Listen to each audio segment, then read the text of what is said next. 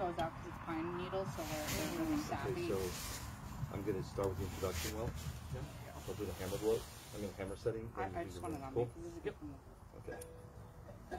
And then Sanford, the, the room bag right there. You want the regular? When, Yeah, when yeah. it's time, I'll let you know. And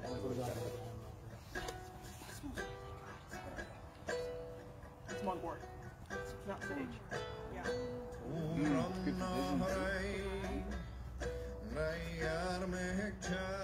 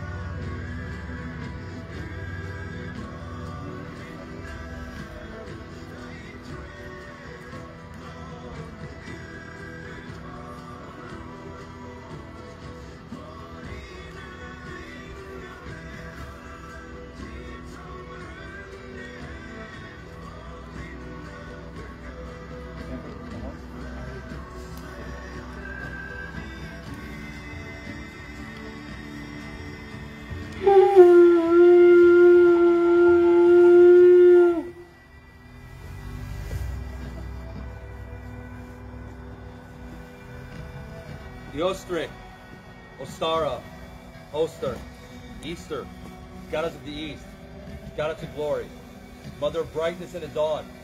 The great sun wheel is turning, unyielding as the frost giants have seemed in their triage over winter. Now comes a steadfast transition from dark to light, as our cold and barren earth is bestowed with the life of force once again. Thor and his mighty thundering are divine the frost giants back into the Jotunheim. Mighty son of Njord, Lord Frey, shall once again imbue the land with his green wealth and fertility. The warm heart of Sunna is winning over the ragged wolf, and the eastern sky, Ostara, heathen goddess of spring, bears fast to return to his rightful stead.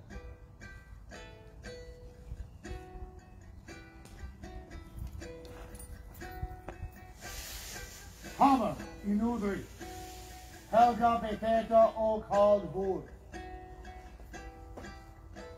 Hammer i Helga Befeta O called Hur. Hammer i Sudri. Helga Betheta o Kalvor. Haman i Vestri. Helga Betheta o Kalvor. Haman i Fermi. Helga Betheta o Kalvor. Haman under mig. Helga Betheta o Kalvor. Haman Helga Bethesda och Halvor. Och Mik och Emir, Asgard och Midgard.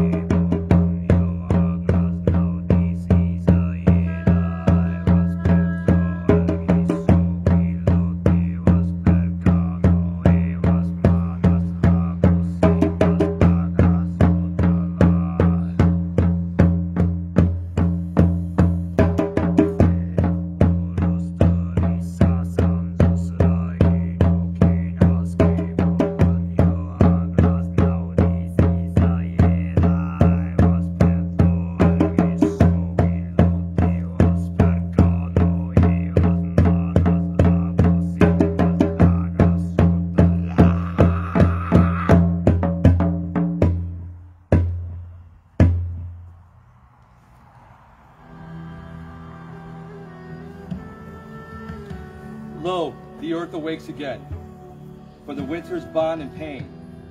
Bring we leaf and flower and spray, to adorn this happy day. Once again the word comes true, all the earth shall be made new. Now the dark, cold days are over, spring and gladness are before. Change then mourning into praise, and for the dirges anthems raise. How our spirits soar and sing, our hearts leap with the spring. Hail Ostara! Hail, Ostara!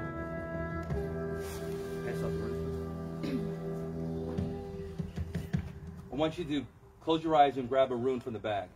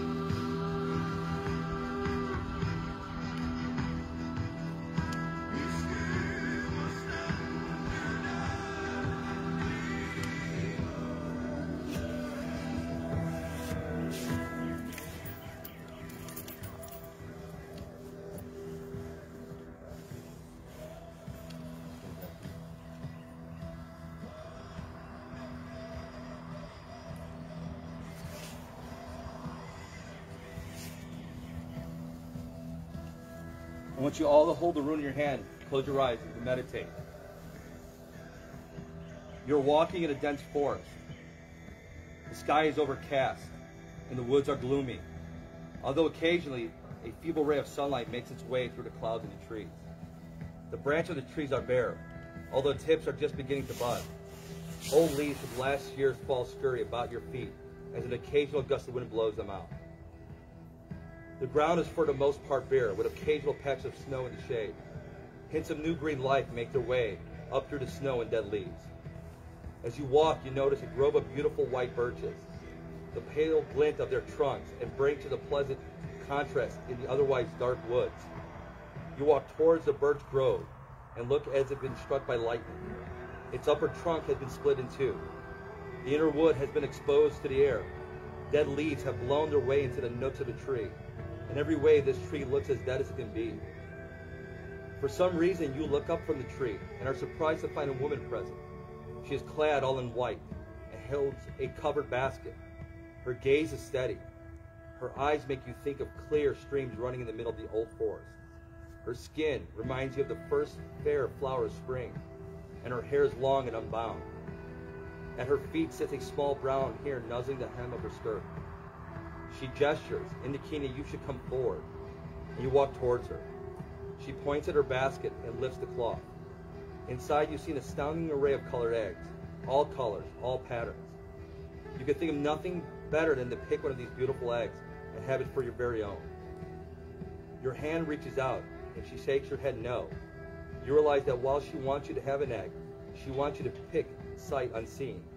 So you close your eyes, reach out in your hand, and reach into the basket. Eyes still closed, you draw your hand back, holding an egg. You open your eyes and look upon your egg. What does it look like? Think to yourself what the decoration of the egg means, and why Ostara wants you to have this particular gift for the coming spring. After you have looked at your egg, you raise your head to thank the goddess, and she is gone. You look about for her in vain.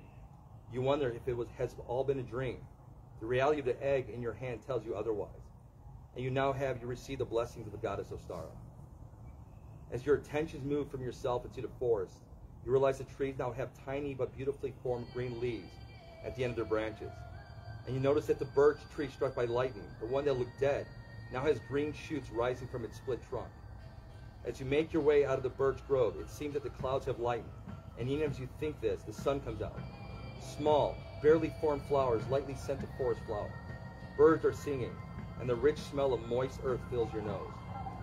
As you make your way of the forest, you wonder how you have found this place gloomy. It seems so alive and pleasant to walk through. Open your eyes. Look at your room. Concentrate on it.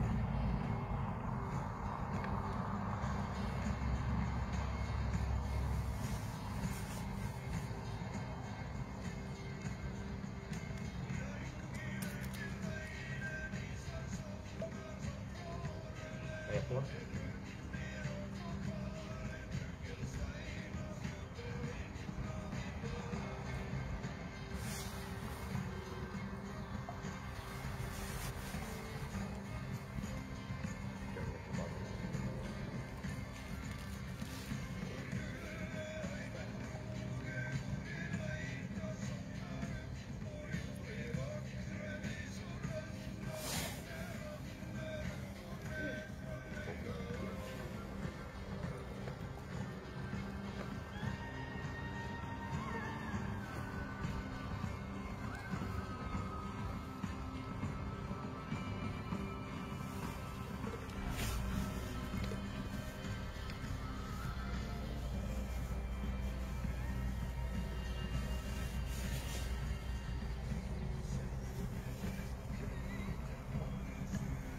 Hail the Aesir. Hail the Aesir. Hail Asnor. Hail Asnor. Hail Earth, who give it to all. Mighty spells and speech we receive from thee, and healing hands while we are living. Hail. Hail.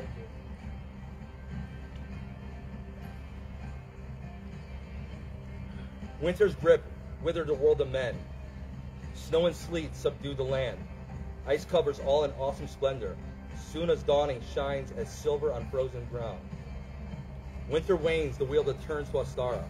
Her blessings brought be bright from east, as morning matures in Midgard heights, and dawn deems the doom of hoarfrost. Crooning of clouds comes ensued, and fields once frosted find warmth and begins to bloom. Buds will flowers, growth and green and granted its first life. Huddled in homes, Heimdall's children, and during the Arctic wind, now it does a star a call. Turf to be tilled, toil to be started, for our folks to be favored and thrive. May our plights be met with strength and courage, deemed fit by the gods. May our moods be mighty. May we wax in wisdom and our worlds be wise. As we walk through this Midgard, may Mjolnir's wielder ward our way. Our son of Har, Heimdall, is ever awake. Mighty watchman of the gods, he stands alone on Bifrost Bridge.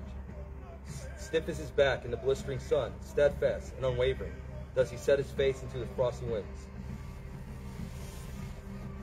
The blow has ended. Hail Ostara. Hail Ostara.